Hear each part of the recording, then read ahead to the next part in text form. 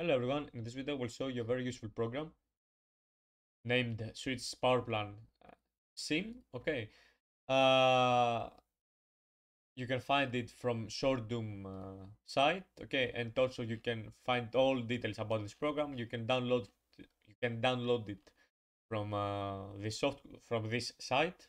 Okay, um, trust me, this program is very useful. You can do so many things, and I will show you now how to what uh, this program can can do. Okay, uh, I will show you some uh, basic features of this program. Let's start with the most important: how to import a power plan.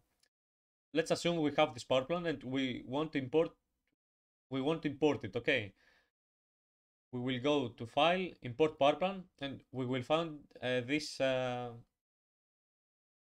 this file. Okay. Uh, and you import this power plan.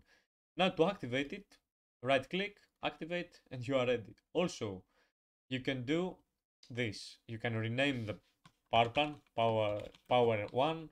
We can uh, change the description of power plan, power 1, apply. And as you can see, you have a new power plan. You import it with the easiest uh, way and we, if we go now to power options, as we can see, we have this power plan. Also, we can find power options. We can open control panel to do uh, anything uh, to change uh, any setting uh, that we want. Okay. Um, we can add shortcuts for uh, wait. Um, Okay, if we go to options, we can add to desktop context menu, change power plan, we can to change more easy um, the power plan, okay, and trust me, it's really useful, okay. Also, we can export the power plan if uh, type uh, press right click uh, on my power plan, I can export power plan and I will choose the path that I want to export the power plan. I want to export it desktop and as you can see, I have now the power plan to desktop.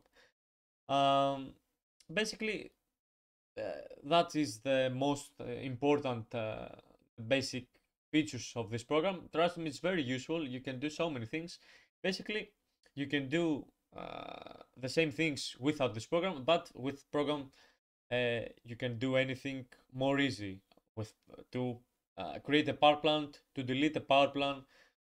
you can delete this power plan, okay, with two clicks. Okay, it's really, really useful program. And uh, that's it. I hope you enjoyed this video. Uh, I recommend to use it. Uh, you will love this uh, software. And that's it. Uh, thanks for watching, guys. Uh, see you soon.